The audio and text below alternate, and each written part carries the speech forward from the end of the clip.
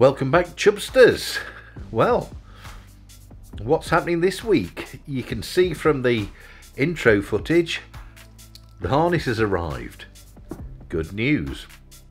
Good news about the harness is it is indeed a double XL. It's pretty wide. It almost sit two people uh, on that seat. It's that wide. Uh, it's taller as well from top to bottom. So I think that's going to give me uh, some clearance of the paramotor as well.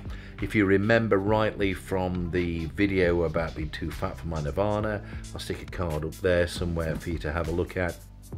Um, I couldn't get out of the paramotor seat. I think this time, uh, because the, the paramotor's bigger, I'm not going to have a problem. Haven't hung in it yet. I'm going to do that shortly, uh, but it's looking pretty good so far.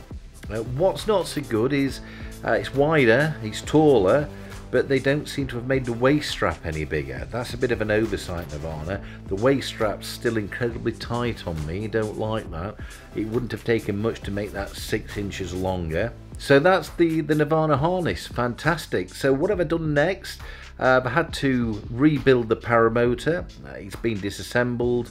Uh, as you know, for transport from Australia, the fuel was drained out of it, so I've had to refill it with fuel. Who who can who can drink oil? Jerry can. Jerry can.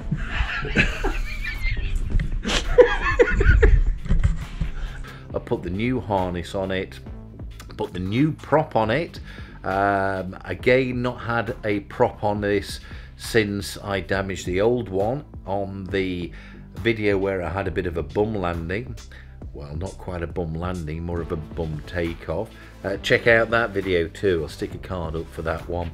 Uh, the paramotor's not actually been started since that video. That was the last time we started it. You, will remember we had a few paramotor starting issues because the battery was flat. The paramotor's not really been run a great deal since then, uh, so the battery was still flat.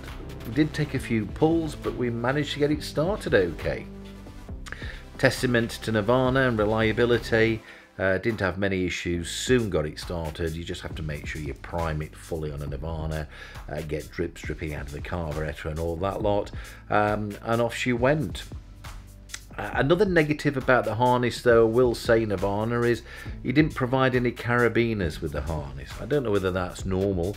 Was kind of expecting them because on the point of sale material, you seem to have carabiners on the harness. Uh, and I was looking forward to two brand new ones because the old carabiners, I don't know much of the, the history of those. It's a second hand paramotor. Uh, Fritz, that was a previous owner. He probably knows more about the history, but I have no idea whether these previous carabiners have actually been dropped or uh, might have sustained any damage. They look good, but I know it's a security thing and I know it's all up here in the brain, but I'd feel a lot happier knowing that I've got two brand new carabiners. They didn't come with it, so I'm having to order some online. I've just put a posting on uh, on the Paramotor Facebook page at the moment trying to find out uh, what carabiners people recommend. I'll get two new ones of those, get those attached, and we're good to go. Uh, next, we'll be hanging just to make sure we're okay.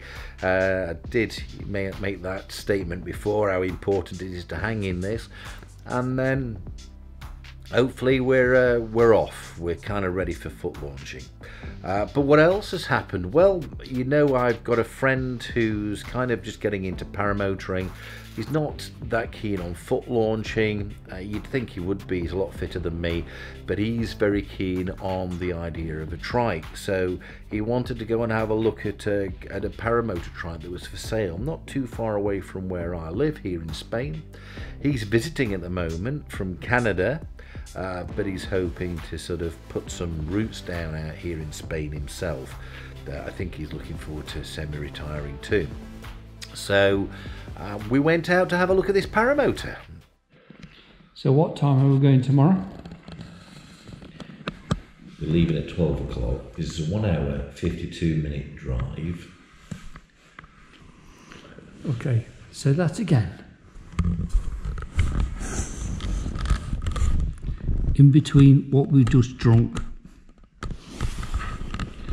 So I think if it takes 1 hour and 52 minutes on Google Maps, which overestimates the trip 12 CT.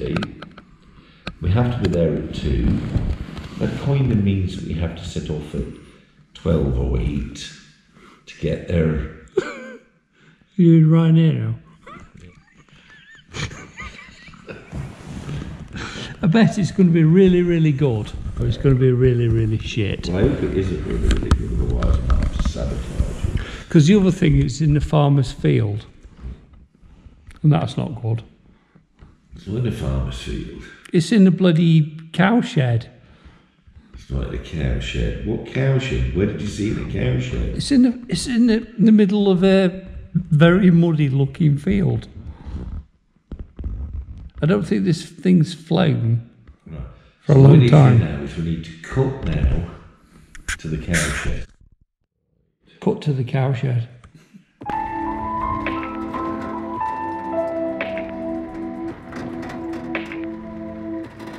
So we come to look at Steve's paramotor. We're going to a field of flight. Oh, it's cold.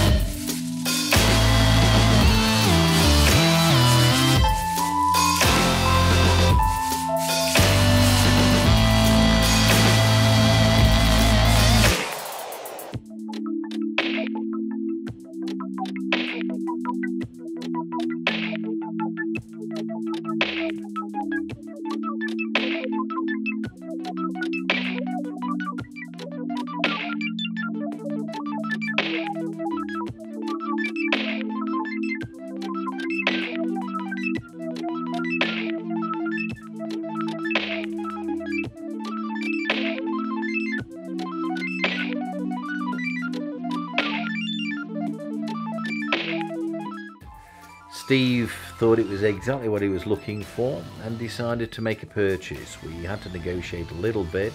There was a few errors in the listing. We had to negotiate for the trailer, and uh, um, but we we kind of got a good deal. Uh, problem is now uh, it's left to this fat dude here to uh, to test this this trike out. Came with a wing, a Naha, is it? Uh, pronounced N-A-J-A. Uh, I forget the name of the wing. I did Google the wing. It's not listed as a beginner wing. Uh, it does actually say on the site that it requires somebody with a little bit more experience to fly it. Um, that's not me, and it's certainly not Steve neither. We unpacked the wing, we shook it out. It's got several patches on it. Um, I'm fairly sure it's easy to patch a wing, but it's not the fact that it's patched. It's the fact that it's had that much use. It's had to have several patches in several different places. Uh, makes me worried about how many hours it's got on it. The previous owner wasn't sure himself. Um, look, you know, not that desperate that we are about to try and fly on a wing with unknown history, with unknown hours that looks like it's pretty tired. So that's becoming a ground handling wing, uh, and more specifically, a ground taxiing wing. So if we decide to chop up a wing in the propeller of the trike, that's the wing to chop up.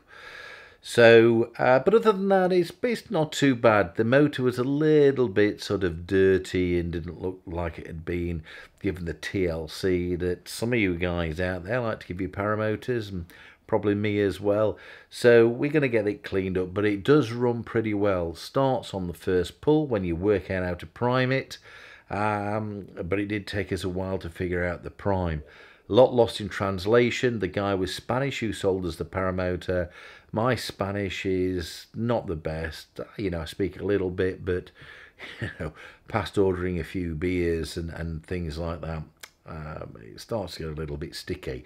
But we did figure out the priming procedure. It seems that a few of the paramotors use a similar uh, carburetor. Um, it was a bit weird because the bleed uh, pin, if you like, that I'm used to, pressing a pin on the paramotors I've used with my training, where I squeeze the bulb, or just pressing a priming bulb, uh, which you do with my Nirvana. this thing you actually poked a little bit of plastic up through a hole in, in the bottom into the diaphragm uh, to bleed out the carburetor. I figured that out after scratching my head for quite a while and trying to Google around the internet. But all sorted, paramotor starts beautifully, seems to develop power. I'm not convinced it quite thrusts as hard as what my Nirvana does, but difficult to tell. It's on a trike and not stuck on your back, uh, but it seemingly revs up and uh, revs up clearly without any stutters or any bangs, without chucking out any smoke. So it looks good. It looks like it's going to be down to me to uh, to do the test flight, and I'm pleased to be able to do that. So it helps me a little bit. It's going to help me get off the ground a little bit quicker, get me flying again, um, get this sorted out. Uh, for Steve, who's now in the process of learning to fly, he's at the ground handling stage. So he's been down to the beach with me a few times. I'm a little bit worried about the Roadster, about whether, you know, I should have got a wing that had got a bit more lift in it. I am down at the beach. I'm worried. The reason for that is I've been ground handling this wing.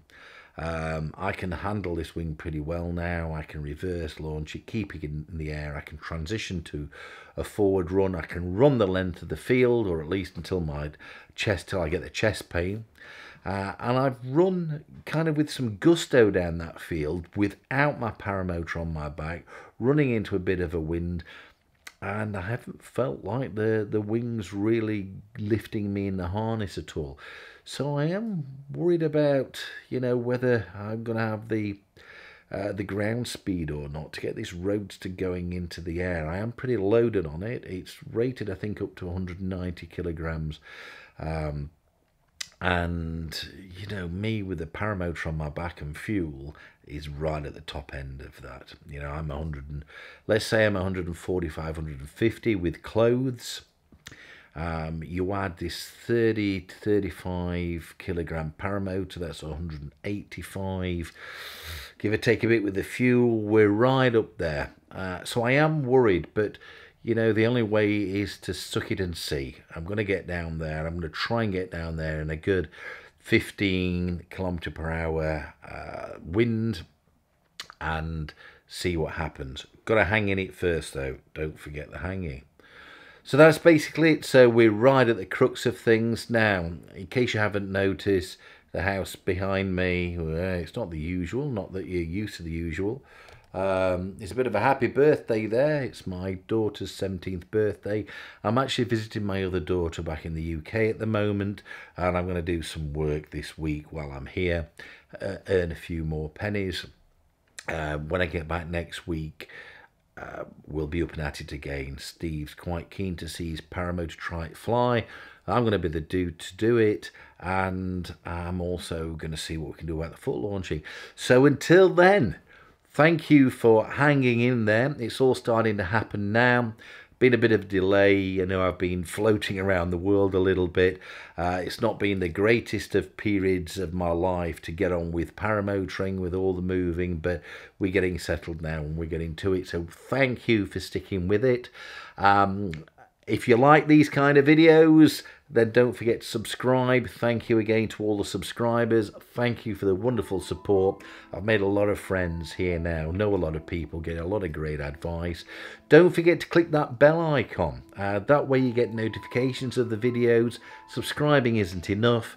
Clicking the bell icon will get you notifications. You'll see when there's another Fat Paramotor Guy video uh, hitting the, the internet and um, if you're watching this on Facebook as well, don't forget to like, follow, all that jazz. And I'll see you in the next video. Thanks for watching. Bye for now.